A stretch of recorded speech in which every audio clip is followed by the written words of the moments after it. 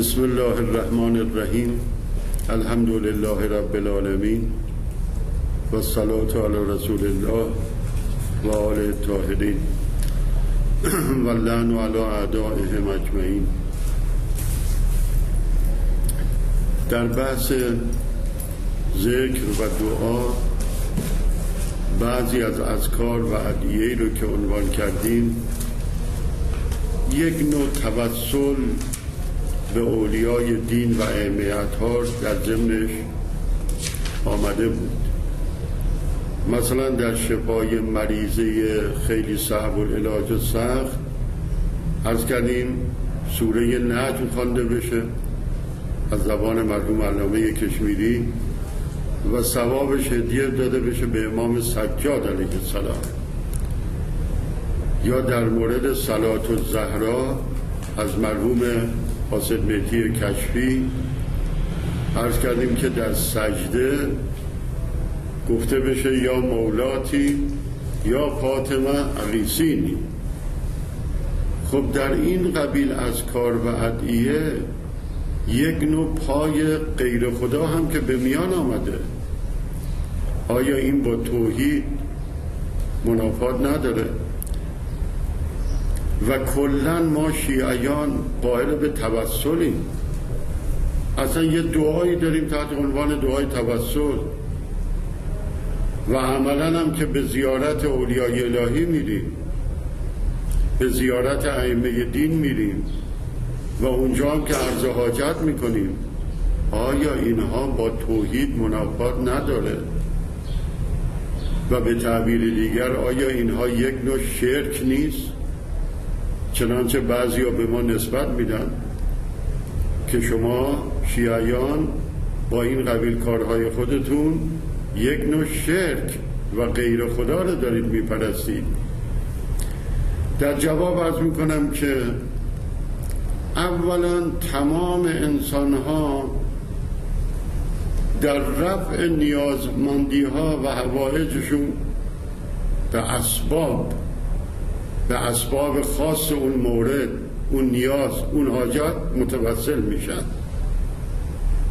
این اختصاصی به ما نداره اختصاصی به شیعه نداره اختصاصی به مسلمان نداره اختصاصی به من طبیعت بشری اینه که در رفع حوائج و نیازهای خود در هر موردی به اسباب خاص اون مورد متمسک بشه.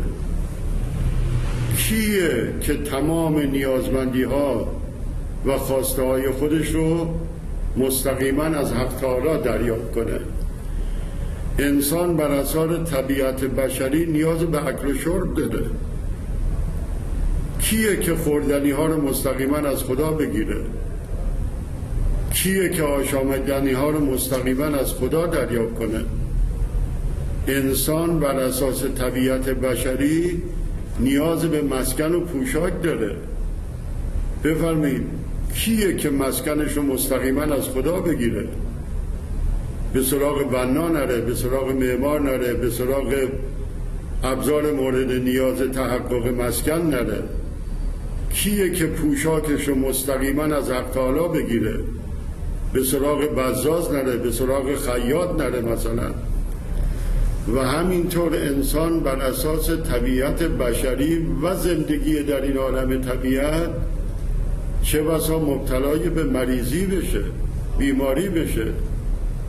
کیه که شفای بیماری و مریضی خودش رو مستقیما از خدا دریافت کنه؟ اصلا به سراغ پزشک و دکتر معالج نره.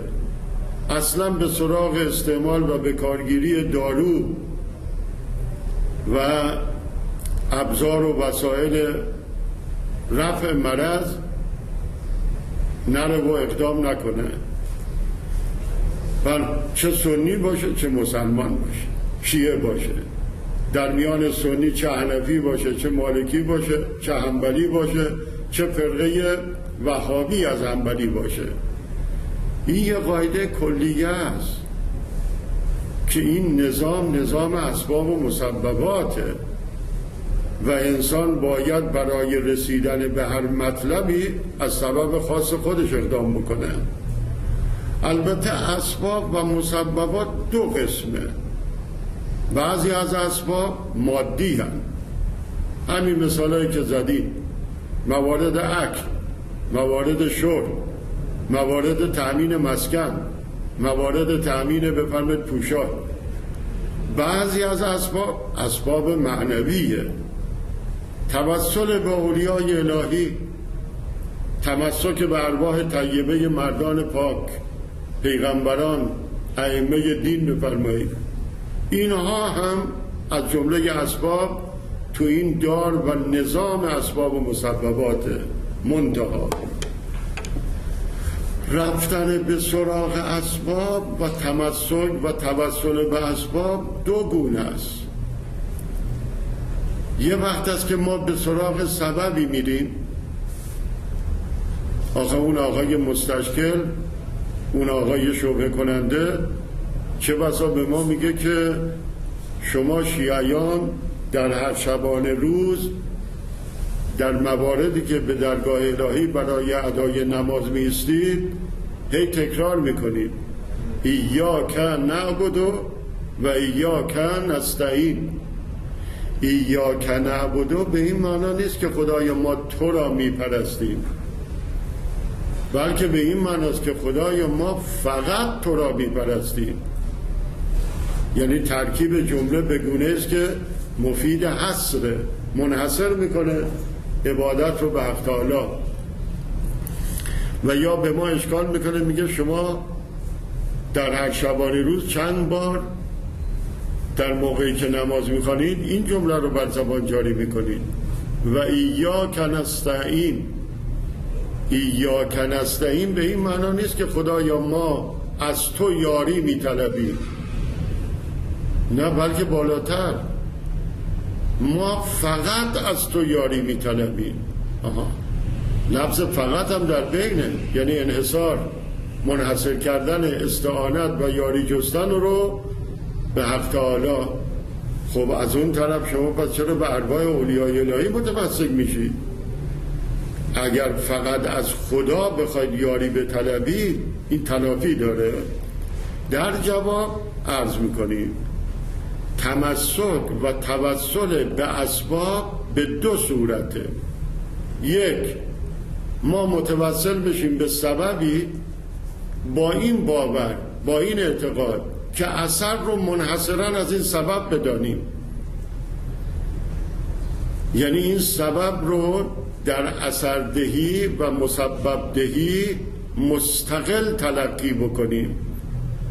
قدرت حق و اراده حق را در ببار نشستن اثر از این سبب نادیده بگیریم. البته این شرکه. این با توحید منافات داره. این با یا کنعبدو و یا کنستهین در تقابله اصلا سازگاری نداره. لکن قسم دوم هم هست و اون اینه که ما بریم به سراغ اسباب.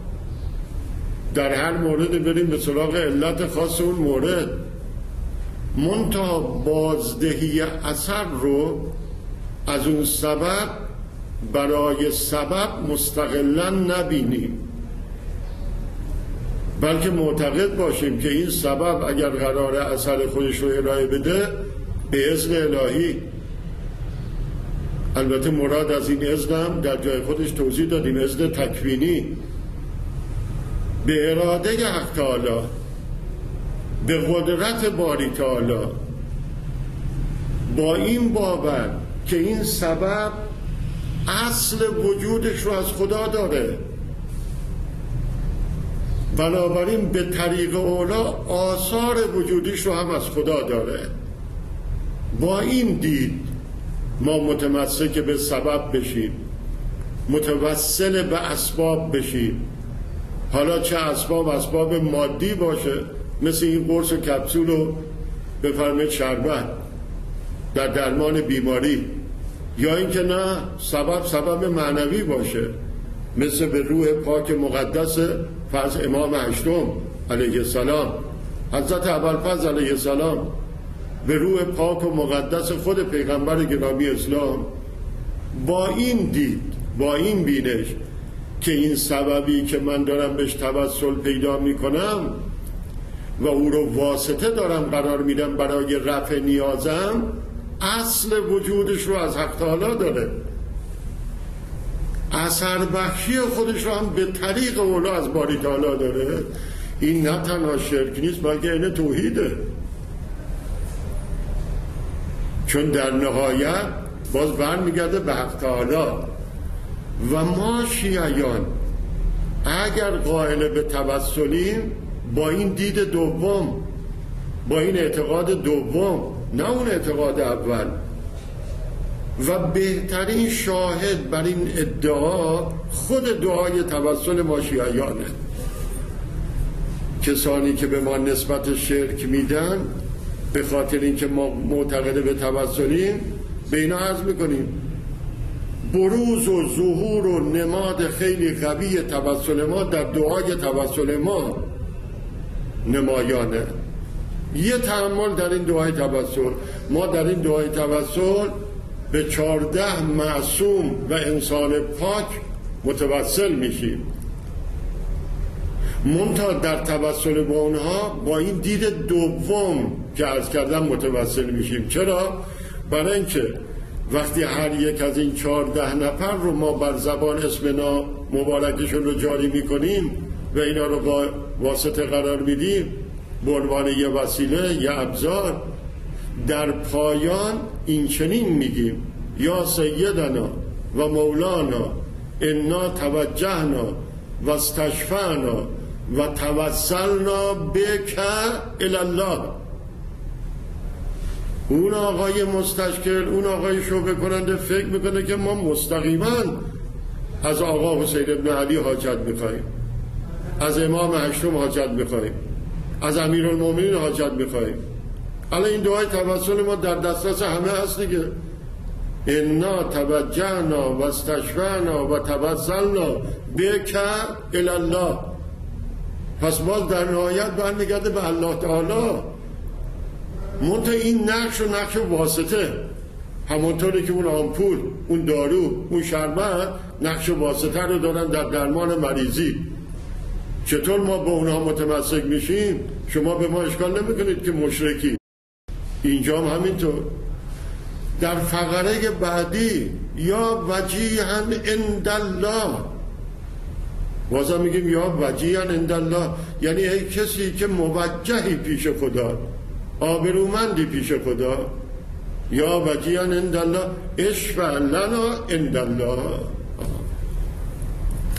پس توسلی که ما شیعیان در برآورده شدن حاجات رفع نیازمندی ها گاهی به دنبال او میریم و اقدام بر اون می‌کنیم از قبیل تمسک به ابزار و اسباب مانتا با دید دوم نه اون دید اول که دید استقلالی باشه. و این و این مطلب توصیه قرآن ماست. در قرآن مقدس در سوره ماعده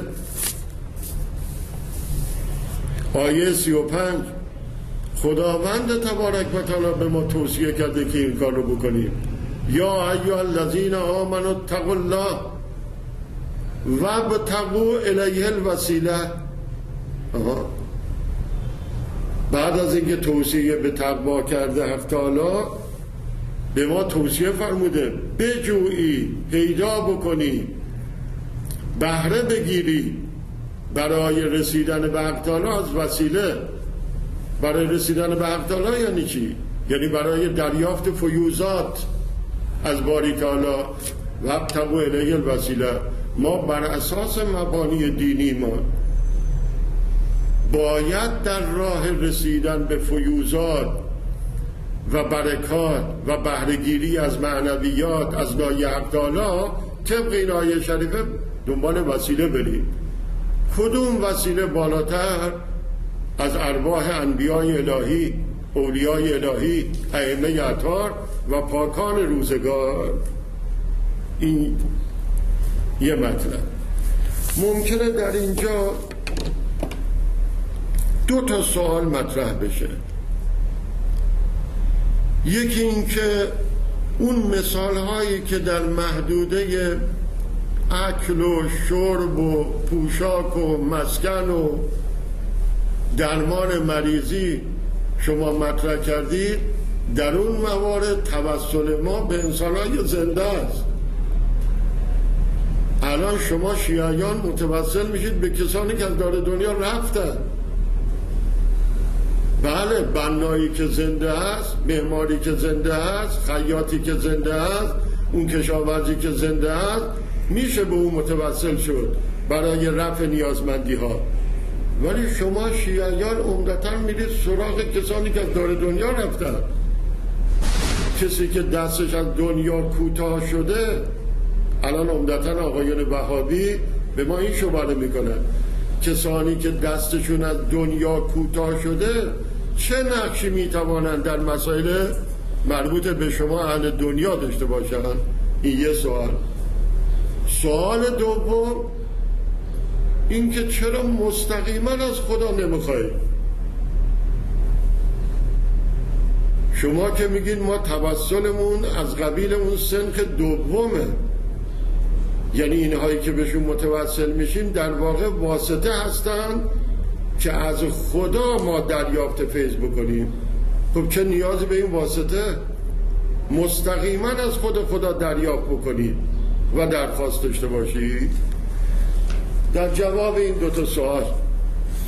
و اما در جواب سوال اول عرض می‌کنیم که ما بر اساس نه شیعیان کل موحدین در دنیا اختصاص به شیعه نداره اختصاص به سنی نداره اختصاص به مسیحی نداره یهودی نداره زردشتی نداره. هر موحدی و پیرو و هر شریعت دینی بر این باوره که انسان با ابتلای به مرگ و موت حیاتش که از بین نمیره. زندگی او معدوم نمیشه باطل نمیشه. بلکه کیفیت زندگی او تبدل پیدا می‌کنه. در روایتی از پیغمبر گرامی اسلام شیعه و سنی نقل کردن که حضرت در تحلیل مرگ و موت فرمود تنتقلون الا من دارن؟ الا دارن. مرگ و موت که به سراغ شما میاد در واقع شما را از یه نشه به نشه دیگر منتقل می‌کنه. یک نوع تحول در کیفیت زندگیه. نه اینکه موت و مرگ انعدام باشه نیستی باشه. چون الان ما گاهی میریم مدینه در قبرستان بقی بعضی از این آقایون به ما اعتراض دارن. ما وقتی در مقابل قبر ائمه اولیای دین که در اونجا نهفتن خفتن اظهار ارادت می‌کنیم فریاد می‌کشن ما تفاته. ما تفاته. یعنی مرد تمام شد. ما ماتفاته رو قبول نداریم. اصلا نمی‌توانیم قبول داشته باشیم. سریع آیه قرآن ما. ولا تحسبن الذين قتلوا في سبيل الله امواتا. بل احیاء عند ربهم یرزقون. البته اختصاصی به شهید نداره. حالا این مورد مورد نزول برای شهداست. البته وقتی ما این آیه هم برای اونها می‌خوانیم اونها به ما میگن این اختصاص به شهدا داره. خب ما چی میگیم؟ ما میگیم وقتی شهید طبق سری قرآن حیه اند ربش یرزقونه پیغمبر این شهید حیات نداره. اون آقا حسین ابن علی علیه السلام که این شهید به طبع او و او رو اصوه و الگوی خود قرار داده و این مسیر رو انتخاب کرده مثلا او حیات نداره. اون امیر المومنین که امام این شهیده او حیات نداره. این لا تحسبن لا تحسبن نه بالاتر از اون آیه دیگره که ولا تقولو چون در یه آیه دیگر آمده نگی.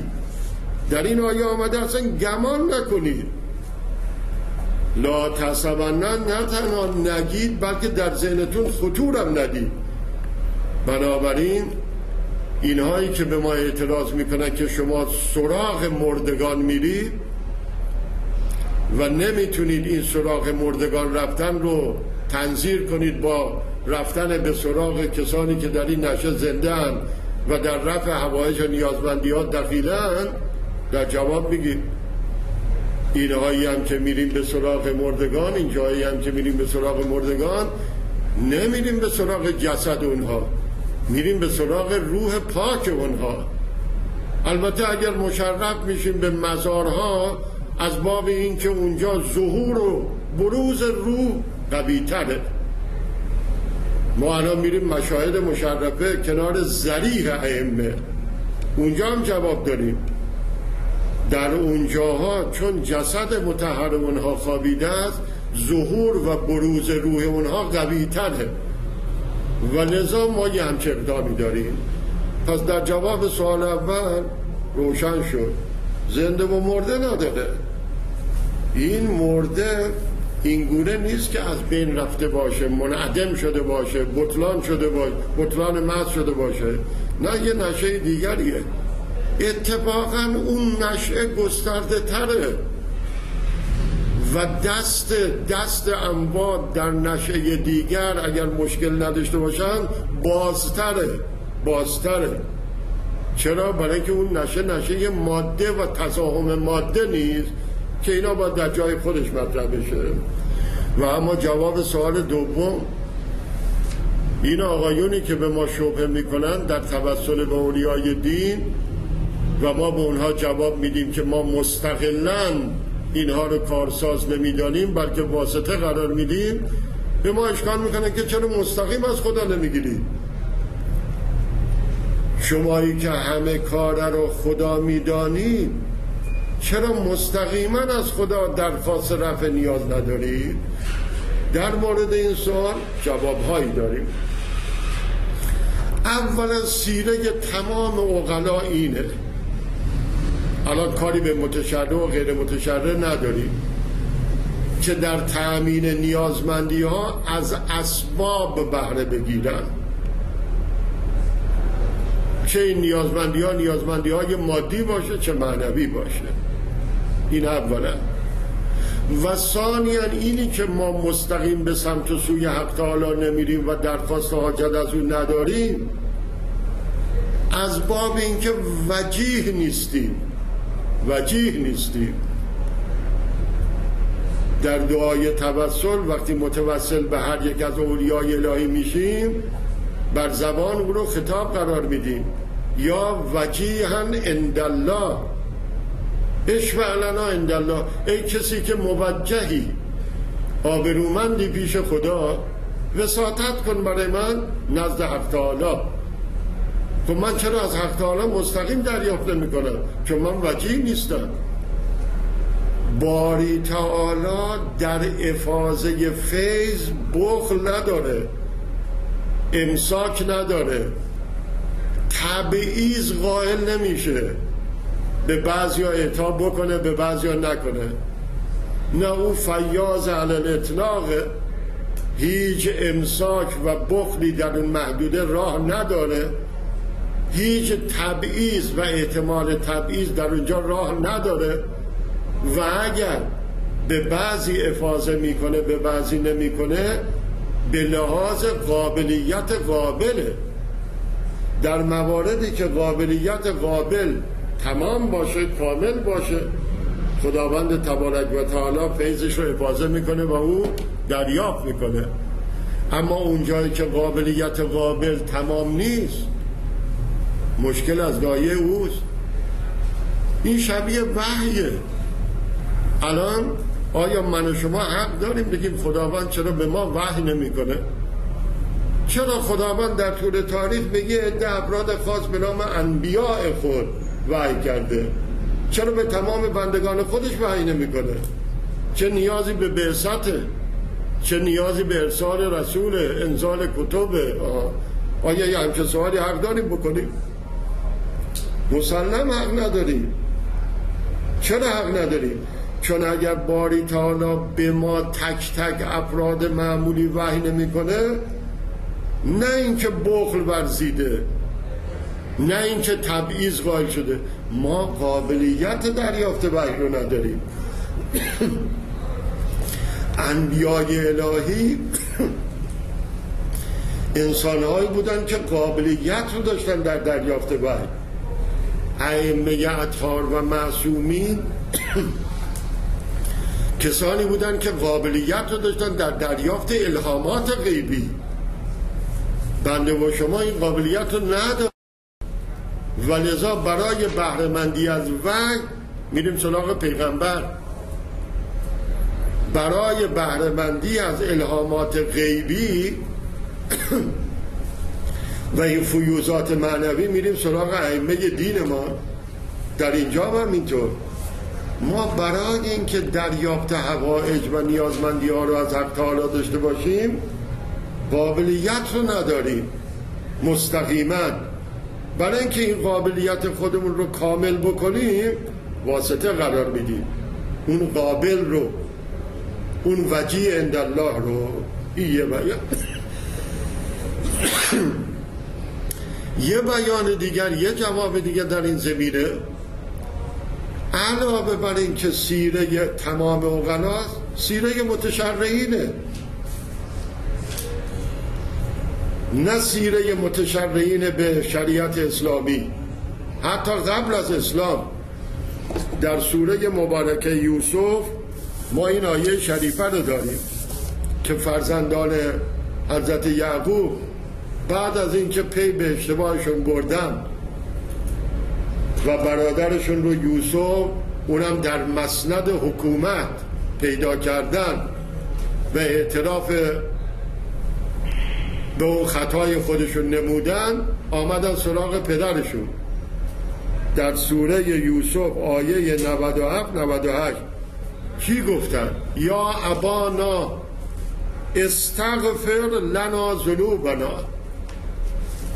این آقایی که به ما شبه می‌کنه در باب توسل آیا می‌تونه اشکال بکنه به بچه های حضرت یعقوب؟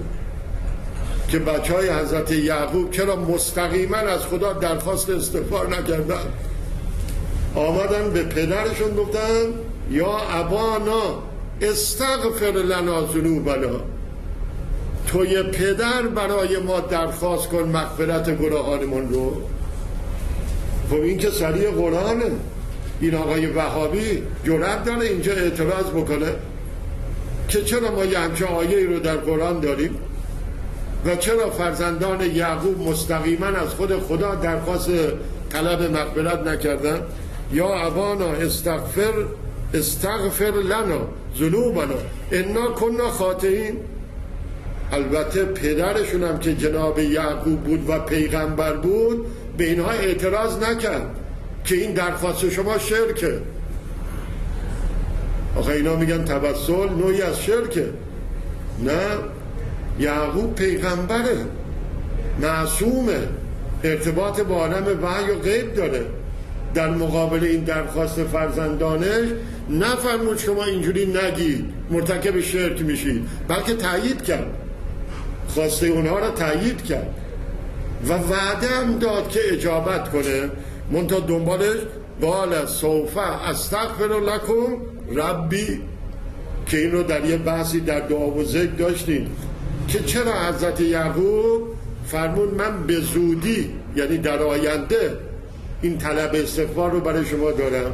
از کنم چون روز بوده بنا گذاشته شب بشه سهرگاه بشه که استجابت دعا در سهرگاه سلس آخر شب قویتر از سایر ساعته. یا طبق بعضی از بیانات دینی روایی جناب یعقوب بنا گذاشت که شب جمعه برسه. که شب جمعه آثار خاص خودش رو داره در استجابت دعا. پس سیره متشرعینه. و حضرت یعقوب اسلام به این معنای مصطلح بین ما شما که نداشت. او قرنها قبل از ظهور پیغمبر اسلام زندگی می‌کرد. آیه دیگر در سوره نسا آیه 64 اینجا دیگه مربوط به خود پیغمبر ماست. در اونجا آمده ولو انهم ظلموا انفسهم. خداوند تبارک و تعالی اگر این بندگان من ظلم به نفسشون کردن ظلم به نفس یعنی گناه. گناه ظلم به نفسه. چرا؟ برای اینکه گناه عاملی میشه که صاحب این گناه در فردای قیامت دچار عذاب بشه. پس عذاب رو داره برای خودش تعمین می‌کنه دیگه ظلم به خودش می‌کنه. حالا در این آیه شریفه 64 سوره نسا ولو انهم اذ ظلموا انفسهم کرد این خطاب خطاب به پیغمبر اسلامه. آی پیغمبر ما آمدن پیش تو فستغفر الله آمدن پیش تو طلب استغفار کردن از خدا. و استغفر لهم الرسول. و اتفاقا این وساطت رو هم توی پیغمبر توی رسول پذیرفتی. از لای اونها طلب استغفار کردی. لوجد الله توابا رحیما. اینا خاطر جمع باشن که خداوندی که تواب و رحیمه اونها رو مورد مغفرت قرار داده. این بیان قرآنی که خداوند تبارک و تعالی پیغمبر خودش رو واسطه قرار میده. برای آمرزش دیگر بندگانه اگر آمدن پیش تو طلب مغفرت کردن از من خدا و تو هم راضی شدی که از من خدا برای اونها طلب مغفرت کنی خاطرتون جمع باشه که من میامرزم اینم که در قرآن آمده. در تاریخ چی آمده؟ فراوان مطالبی داریم. نه از کتب شیعه بلکه از کتب اهل سنت. اونم مثل صحیح بخاری. برای برادران اهل سنت ما بعد از قرآن معتبرترین کتاب صحیح بخاریه. فراوان مطالبی رو بنده یادداشت دارم که وقتم تمام شده. اگر لازم باشه یه جلسه دیگر به اون بیانات تاریخی می‌پردازیم. با آدرس با سراغ با نشانی سهای ترمزی سنن بیحقی مستدک هاشه مستدک نشابوری حاکم نشابوری همه اینها دونه دونه بنده آدرس و یادداشت دارم که چه مواردی از توسلات در مجامع روایی خود این آقایان اهل سنت آمده. اونم نه فقط سه های سته صحیح بخاری درسته که اینا سه های سته رو قبول دارن ولی باز در رأس این سه ها به صحیح بخاری اعتنا دارن. فعلا وقت گذاشته و صلی الله قسمت اول به مورد حیات شهدا اون حرفی که زکای فرمودی برهانی نمیشه برهان اثبات کنی که حیات بقیه هم غیر شهدا هم فرا می‌گیره. این مورد اختصاص نداره به شهدا حالا ما نمی‌خواستیم این رو به عنوان او افحسب تو من نما خلقناکم همسا و انکم لیلا لا ترجعون. اون همه آیات راجع به معاد داریم که انسان وقتی از این نشه در میره زندگی جدیدی رو شروع می‌کنه. موارد روایات آیات مربوط به عالم برده البته چرا برانی داشته؟ وقتی شهید زنده هست امام شهید پیغمبر اون شهید به طریق اولا زنده است دیگه. نمیشه این برانی بشه؟ این شهید با تبعیت از بیان اون پیغمبر رفته شهید شده. این تابه این تابه که زنده هم اون مطبوع زنده نیست. چرا قرآنی نشد الان اینایی که میان تو میدان های جهاد و مبارزه در مسیر الله و به شهادت می‌رسن به طبع دستورات امام پیغمبر رهبر اینا تابه هم. تابه رتبهش نازلتر از مطبوعه این رتبه نازل احیاءون این در بهم یرزقون اون رتبه برتر باید بگیم به طریق اولا دیگه. حالا حالا اون آقای وهابی در مقابل ذریع پیغمبر به ما داد فریاد داره. میگه پیغمبر ما تفات. ما تفات. با تفاتح کدامه؟ اصلا بهش بگو که تو چرا پس سلام میدی؟ الان این نمازهایی که ما حالا اونا زیارت نامه نمی‌کنن نماز که می‌خونن. السلام علیک ایوه نبی کو ما تفاته که. ایوه نبی کو. این سلام به کیه؟ آخه تمام این سلام هایی رو که ما در زیارت نامه ها داریم به صورت خطابه. هیچ کدوم به صورت غیبت نیست. السلام علیکم. الان ماها زیارت نامه امام حسین می‌کنیم. السلام علیکم یا عبدالله. زیارت امام حسین. السلام علیکم یا سامن الحجر السلام علیکم یا صاحب الاسر زمان هر کجا میریم که علیکم. به این آقا میگیم شما زیارت نامه نمی‌خونید سلام رو که می‌دید این سلام مخاطب کیه؟ السلام علیکم یا نبی نبی که میگیم ما تفاته مخاطب شما کیه؟ پس ماتفاته ای نیست گویم که نمرد و زنده تر شد آها.